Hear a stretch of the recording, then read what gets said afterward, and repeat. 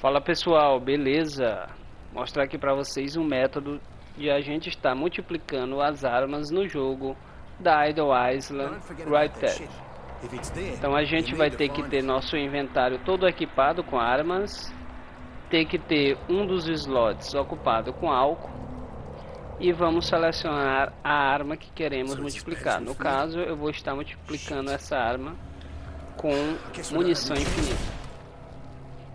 Então a gente seleciona a arma, dropa ela no triângulo, a gente vai ocupar esse espaço com outra arma, a gente coloca a mão nua e a gente pega a arma.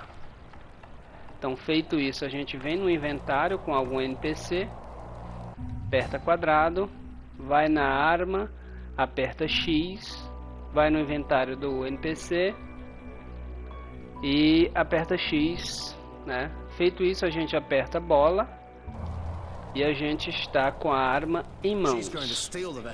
Agora a gente só vai dropar essa arma infinitas vezes aqui no chão.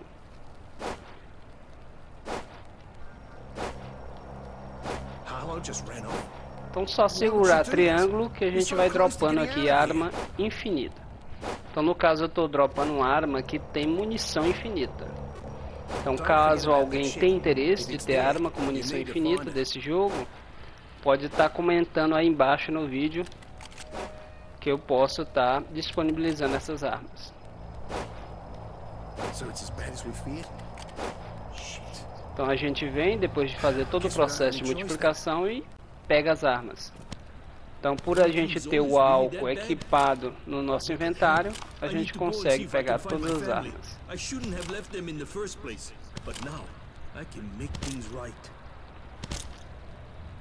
Harlow just ran off. Why would she do that? We're so close to getting out of here. Like I said, I'm not going anywhere. I know what I said before about taking a boat, but she's going to steal the vaccine. And then A gente vem aqui no inventário. Observem o tanto de rifle que a gente conseguiu multiplicar dessa arma.